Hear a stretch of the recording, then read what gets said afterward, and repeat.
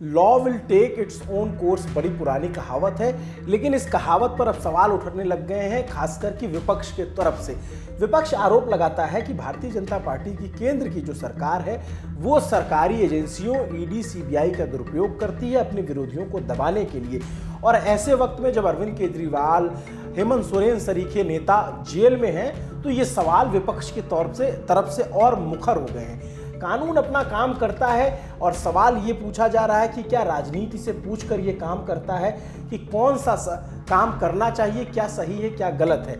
ये सवाल इसलिए उठ रहे हैं क्योंकि विपक्ष के आरोप एक तरफ़ है और उन नेताओं की फहरिस्त एक तरफ़ है। जो बीजेपी में चले गए, जो पहले विपक्ष में थे तो उन पर कार्रवाइयाँ चल रही थी, उन पर जाँचें बैठी हुई थी और जब वो बीजेपी के साथ चले गए तो जो कार्रवाई बुलेट ट्रेन की रफ्तार से चल रही थी, वो इलाहाबाद बनारस की पैसेंजर से भी स्लो हो जाती है।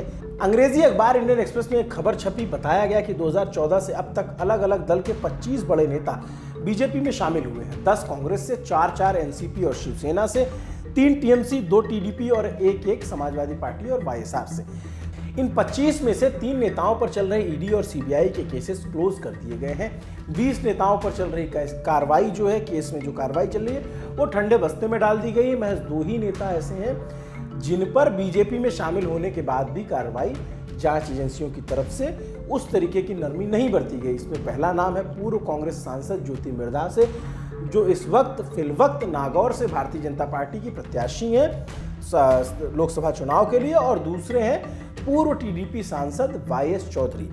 अब एक एक कर आपको एक लिस्ट में प्रमुख किरदारों के बारे में बताते हैं, जिनको लेकर के पूरी रिपोर्ट छपी और कहा गया कि इनको बीजेपी की तरफ़ आने के बाद सहूलियत मिली और ये कहा गया कि वॉशिंग मशीन में आने पर क्या आरोप लगाया गया कि वॉशिंग मशीन में आने के बाद क्या सारे दाग धुल जाते हैं? क्या भाजपा के पास वाकई कोई ऐसी वॉशिंग मशीन है? खैर, पहली बात, जो चाचा से बगावत करके आए और पार्टी में ही दोपहाड़ कर दिया, उनका, उनकी कर लेते हैं अजीत पवार। महाराष्ट्र के डिप्टी सीएम, अगस्त 2019 में अजीत पवार के खिलाफ इकोनॉमिक ऑफेंस विंग ईओडब्ल्यू ये पुलिस की एक शाखा होती है जो आर्थिक मामलों की जाँच करती है। उसने मनी लॉन्ड्रिंग का एक एफआईआर दर्ज किया। सितंबर 2019 में केस में एंट्री होती ईडी की। अक्टूबर 2020 में ईओडब्ल्यू ने केस को क्लोज कर दिया। ईडी ने क्लोजर रिपोर्ट को चैलेंज किया।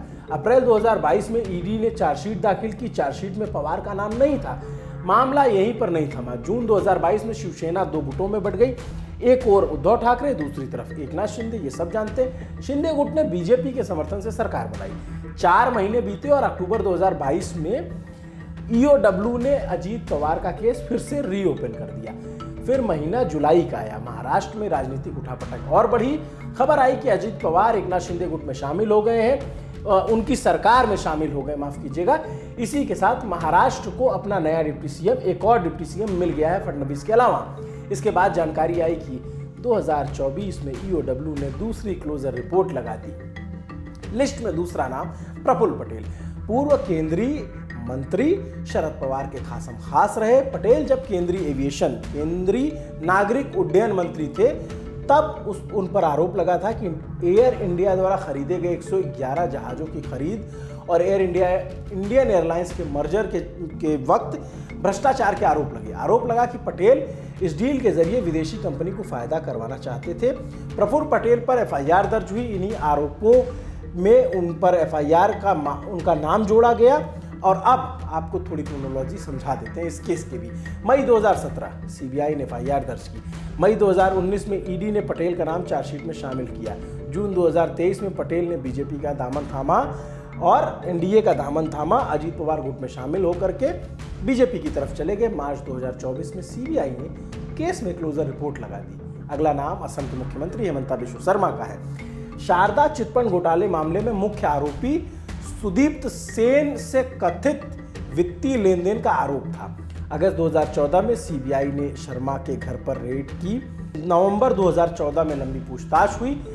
अगस्त 2015 में हेमंत बिश्व शर्मा बीजेपी में शामिल हो गए। इसके बाद केस चल रहा है, लेकिन इतने सालों में कोई कार्रवाई नहीं हुई। अगला नाम है पूर्व टीएमसी और वर्तमान बीजेपी नेता शुभेंदु अधिकारी का। 2014 के नर्मदा स्टिंग ऑपरेशन केस में इनका भी नाम आया था, साथ में 11 टीएमसी नेताओं का नाम आया था। 2016 की बात है। अप्रैल 2017 में सीबीआई ने एफआईआर रजिस्टर की और उसके बाद केस चलता रहा धीरे धीरे अपने गति से। बाद में शुभेंदु बीजेपी में आ गए। बीजेपी के बड़े कद्दावर नेता में अब गिनती होती है और केस ठंडे बस्ते में है। अगला नाम महाराष्ट्र के पूर्व मुख्यमंत्री अशोक चौहान का है। सीबीआई ने अशोक चौहान पर आरोप लगाया कि उन्होंने अपने रिश्तेदारों के लिए दो फ्लैट के बदले कंपनी को फ्लैट स्पेस इंडेक्स की मंजूरी दी। आम लोग इसे आदर्श सोसाइटी घोटाला के नाम से कथित तौर पर जानते हैं। ईडी ने सीबीआई के एफआईआर पर मनी लॉन्ड्रिंग की जाँच शुरू की। चौहान से पूछताछ भी हुई। प्रधानमंत्री जब नांदेड़ गए उस वक्त तो हमला भी किया। कि शहीदों के परिवार के का घर खाने वाले लोग कौन हैं, आप सब जानते हैं, नाम भले नहीं लिया था। 2011 में सीबीआई ने केस रजिस्टर किया। जुलाई 2012 में सीबीआई चार्जशीट में चौहान का नाम आया। जनवरी 2018 में सुप्रीम कोर्ट ने कार्रवाई पर रोक लगाई। फरवरी 2024 में चौहान बीजेपी में शामिल हो गए। ट्रायल अभी पेंडिंग है। इस लिस्ट में नवीन जिंदल हैं, जिन पर कोयले घोटाले का आरोप लगाती थी बीजेपी तापस रॉय है। जिन पर कई और घोटालों, शिक्षा और तमाम घोटालों का आरोप लगाया गया। छगन भुजबल हैं, संजय सेठ जैसे कई नेताओं का नाम है। हमने आपको नेताओं के दल बदलने और जाँच एजेंसियों के बदले तेवरों के बारे में बताया। इंडियन एक्सप्रेस की रिपोर्ट के हवाला, हवाले से। हम ये नहीं कह रहे हैं कि कौन सही है, कौन गलत, बस हम आपको टाइमिंग बता रहे हैं। अब आगे फैसला आप खुद कर सकते हैं, आप स्वतंत्र हैं, आप देश के जिम्मेदार नागरिक हैं। इस खबर पर आपकी क्या राय है, कमेंट करके ज़रूर बताइए। नमस्ते, मेरा नाम अभिनव पांडे है। आपके लिए खबर लिखी थी हमारे साथी रजत ने। शुक्रिया।